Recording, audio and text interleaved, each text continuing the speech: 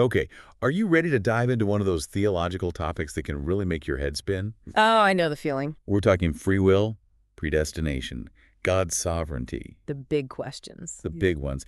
And you know what? The Reformed view on all this, it's surprisingly thought-provoking. Yeah.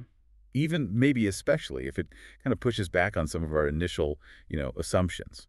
What I find so captivating is that it really forces us to examine those preconceived notions about free will. Like, do we really have as much control as we think we do? Right. And the reform perspective, it takes this, well, this unique approach. It says, yeah, we have a will, sure, but it's not exactly um, free when it comes to actually seeking God. It's almost like, imagine trying to win a game that's already rigged, you know? Okay, I see where you're going with it. So how does that work? Our source material uses some pretty strong language about this, talking about our wills being like enslaved to sin.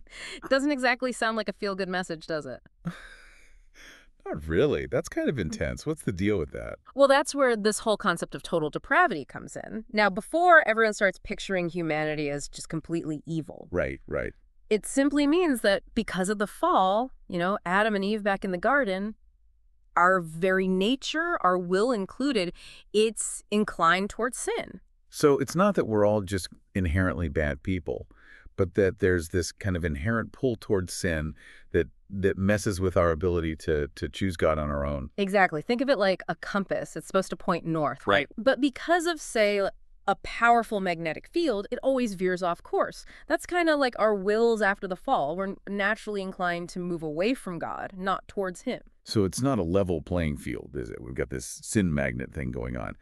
But if our default is to resist God, to kind of shy away, how does anyone choose him? It almost feels impossible. Well, that's where this idea of election comes into play. This is where things get really interesting. You see, if you can't choose God on our own, He must be the one doing the choosing. So are you saying God is like handpicking?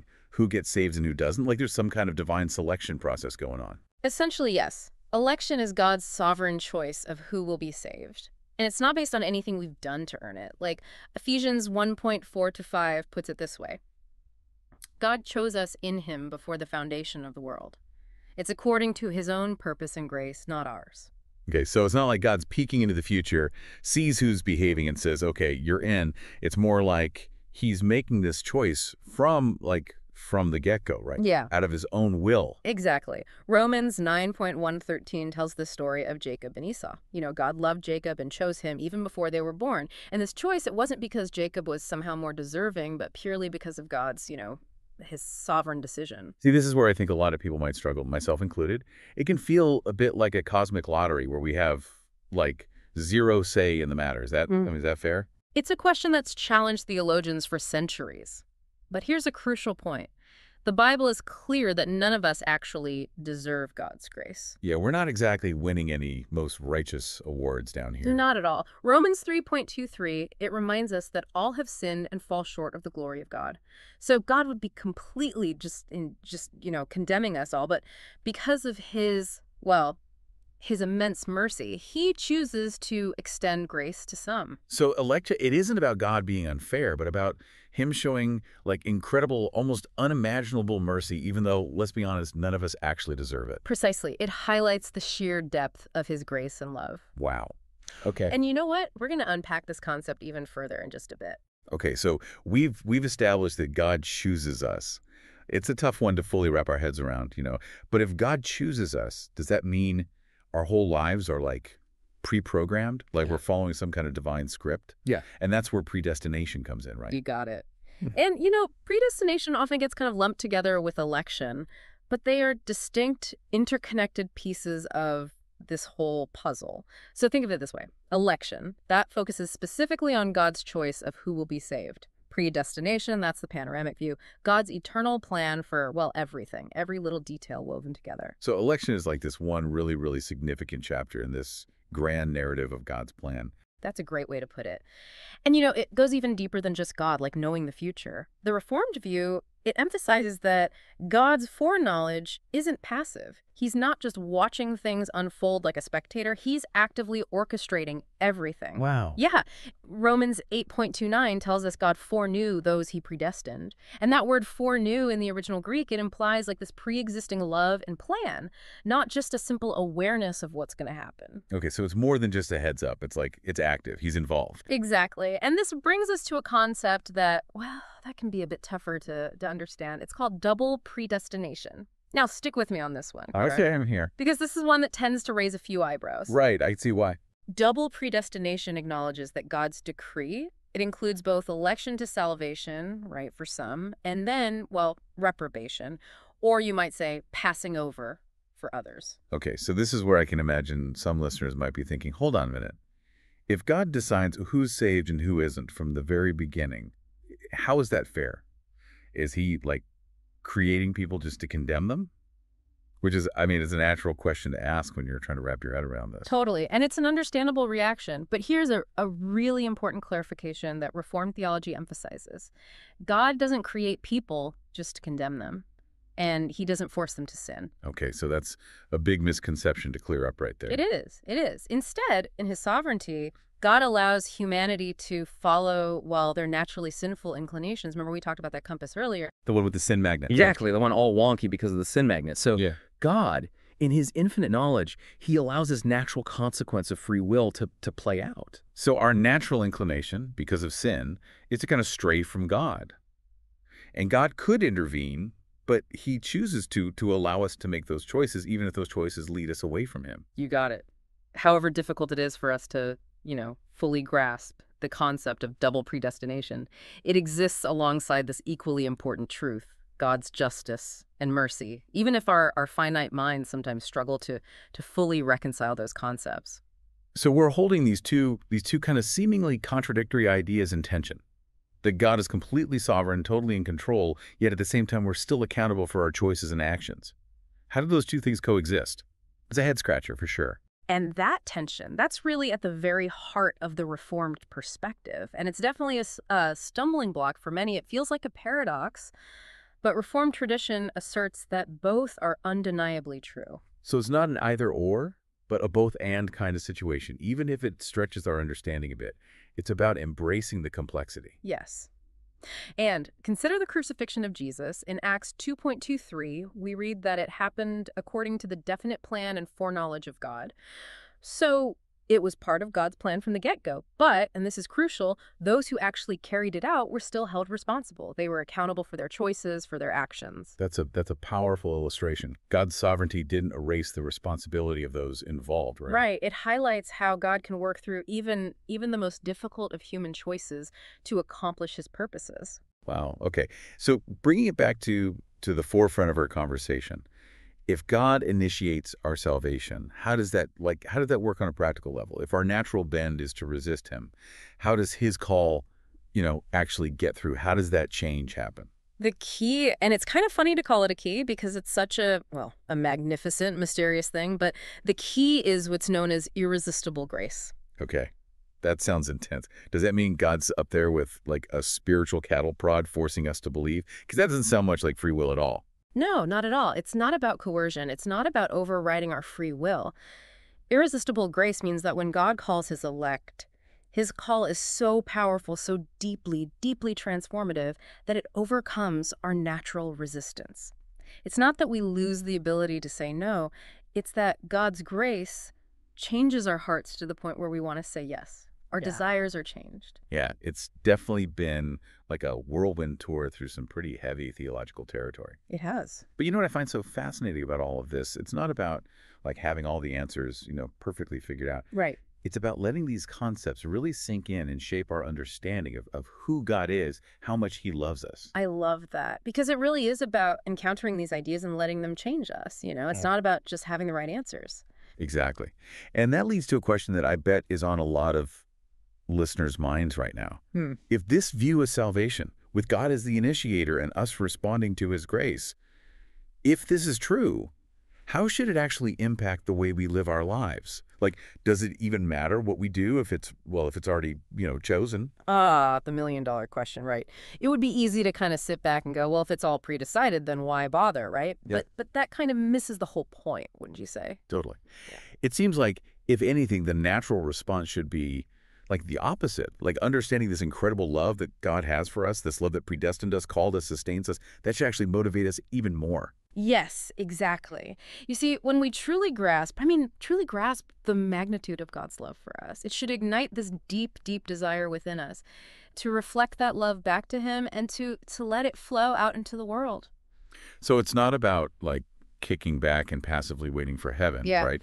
It's about actively participating in our faith, knowing that God's working in and through us each step of the way. It's not like we're off the hook just because he's the one who made it possible. Exactly. And not out of obligation either, Right. but out of out of this overflowing gratitude and joy that comes from from knowing how much we're loved. It's about allowing our lives to be transformed by that grace, about wanting to serve others, to show love because well, because we've experienced that love ourselves. It's like this incredible paradox, isn't it?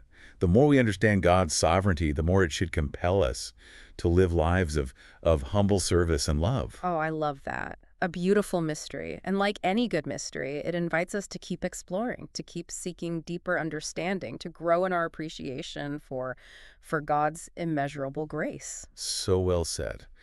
And as we wrap up this deep dive into some, let's be honest, some pretty deep theological waters, He'd been to the pool for sure. I'm reminded that, that wrestling with these big questions of faith, it's a journey, not a destination, right? It is. It's about approaching these topics with with humility, you know, Yeah. with openness and with a willingness to kind of have our minds stretched a bit. Yes. Don't shy away from the tough stuff, guys. Lean into those questions, wrestle with them. Exactly. So if anything we've talked about today has has sparked your curiosity, if you're feeling that urge to kind of delve even deeper, we encourage you to check out the source material for this episode. Remember, this isn't about checking boxes or memorizing doctrines. It's about letting these truths shape how we see ourselves, our world, and ultimately our awesome God. And on that note, until next time, keep asking those tough questions. Keep seeking truth. Keep diving deep into the wonders of faith. This whole free will thing, you know, Mhm. it really gets people going, especially when you throw predestination into the mix. And you're jumping right into the deep end with this, looking at Reformed theology. Definitely a deep dive. for sure. We're looking at some excerpts you pulled on this, and it seems like the question you're wrestling with is a big one, one that's been around for centuries. How say do we actually have in our salvation? It's a biggie. It really gets to the core of how we see ourselves in relation to God, doesn't it? Absolutely. Yeah. And the source material you've been looking at, well, it doesn't mess around. It lays out this idea of God's sovereignty, like he's completely in control, calling all the shots. Exactly. Reformed theology really emphasizes that God's will is the ultimate cause of everything, and that includes our salvation. Okay, see, now that's where I get tripped up a bit. Because if God is totally in control, like you said, does that mean we're just, you know, robots? Following a pre-programmed plan? What about our everyday choices? Like this morning, I chose to have another cup of coffee. Did God plan that too?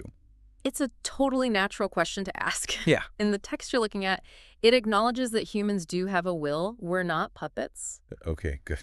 I was getting a little worried there. But, There's always a but, isn't there? well, yeah. You see, Reformed theology has this concept called total depravity. Okay, before we go any further, can we unpack that a bit?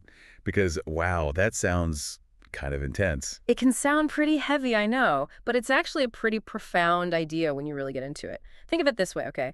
Our will is like, say, a computer's operating system, right? Okay, I'm with you. So when it was first created, it was perfect, running smoothly, making good choices.